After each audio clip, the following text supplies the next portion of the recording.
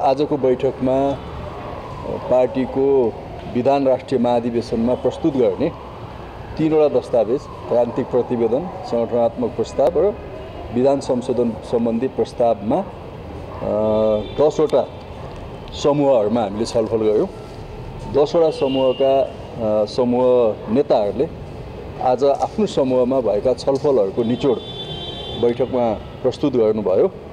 त्यसमा मूलत केही महत्त्वपूर्ण कुराहरू उहाँहरूले राख्नु भएको छ। एउटा जनताको बहुदलीय जनवादको मार्ग निर्देशनमा हामीले बैसठी त्रिसठीको ऐतिहासिक जनक्रान्ति र संविधान निर्माणसम्म आइपुग्दा एउटा क्रान्ति हामीले सम्पन्न गरेका छौँ। नेपालमा लोकतान्त्रिक जनवादी क्रान्ति सम्पन्न गरेका छौँ। अब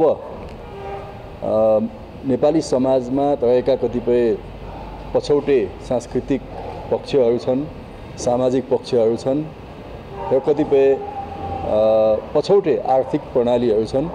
ती कुरामा रूपान्तरण गर्दै र क्रान्तिका उपलब्धिहरूलाई संस्थागत र सुदृढ गर्दै समाजवादको आधार निर्माण गर्ने कुरालाई पार्टीको कार्यदिशाको रूपमा अगाडि बढाउनुपर्छ भन्ने धेरै टोलीका साथीहरूको सुझाव यो आएको छ। अर्को नेपालको कम्युनिस्ट आन्दोलन एकता विभाजनको एउटा कालखण्डबाट गुज्रिँदै आएको छ।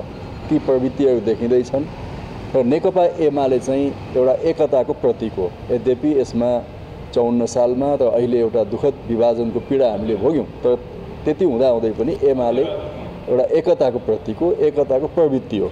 त्यसैले विभाजित भएको कम्युनिस्ट आन्दोलनलाई एकताबद्ध गर्ने ऐतिहासिक कार्यभार नेकपा एमाले नै पुरा गर्नुपर्छ भन्ने समूहका टोली नेता साथीहरूको सुझाव आएको छ त्यसको निम्ति सबै कम्युनिस्ट पार्टीहरूसँग छलफल संवाद उहाँहरूका गलत विचारहरूसँग एउटा चाहिँ छलफल र संवादको प्रक्रियाबाट उहाँहरूलाई रूपान्तरण गर्ने कम्युनिस्ट आन्दोलनमा देखिएको एउटा सङ्कीर्णता गुटवादी प्रवृत्तिहरू विभाजनकारी प्रवृत्तिहरूमाथि सङ्घर्ष गर्दै एउटै कम्युनिस्ट पार्टी बनाउने कार्यदिशा नेकपा एमालेको कार्यदिशा हुनुपर्छ भन्ने कुरा पनि टो समूहबाट आएको छ। त्यस्तै पार्टी अब क्रमशः अलिकति पुरानो पुस्ताहरूको बाहुल्यता बढ्दै गएको छ उमेरको हिसाबले पनि। अब यो पार्टीलाई निरन्तर नवीकृत गर्दै लानको निम्ति प्रत्येक तहमा युवाहरूको उल्लेख्य सहभागिता नीति निर्माणदेखि कार्यान्वयनको तहमा जनप्रतिनिधिदेखि लिएर पार्टीको नेतृत्वको तहमा समेत युवाहरूको उल्लेख्य सहभागिता बढाउनुपर्छ भन्ने सुझाव पनि समूहहरूबाट आएको छ।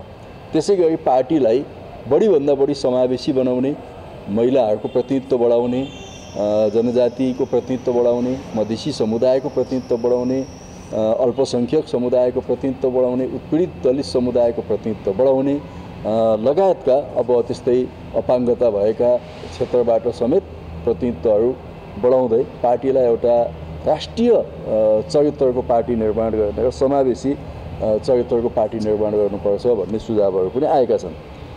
त्यसै गरी अब पार्टीको सम्पूर्ण ध्यान आगामी निर्वाचनमा पार्टीले श्रेष्ठता हासिल गर्ने गरी जानुपर्छ। स्थानीय तहको निर्वाचन फागुन महिनामा हुँदैछ।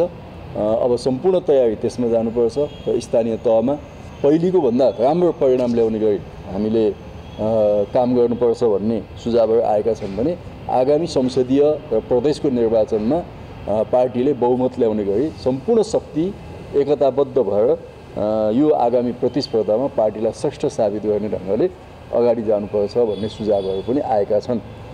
यिनै सुझावहरू मुख्य पोइन्टको रूपमा मैले तपाईँहरूलाई बताएँ।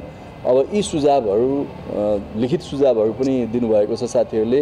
यी सम्पूर्ण सुझावहरूको बारेमा पार्टी अध्यक्ष कमरेड र यो प्रतिवेदन प्रस्तुता कमरेडहरूले भोलि बैठकमा त्यसको थप प्रष्टीकरणहरू अथवा थप पुष्टि गर्ने काम हुनेछ र विधान महाधिवेशनका अन्य तयारीका कामहरू गर्नुपर्नेछ त त्यसैले भोलि एघार बजेसम्मको निम्ति बैठक स्थगित भएको छ।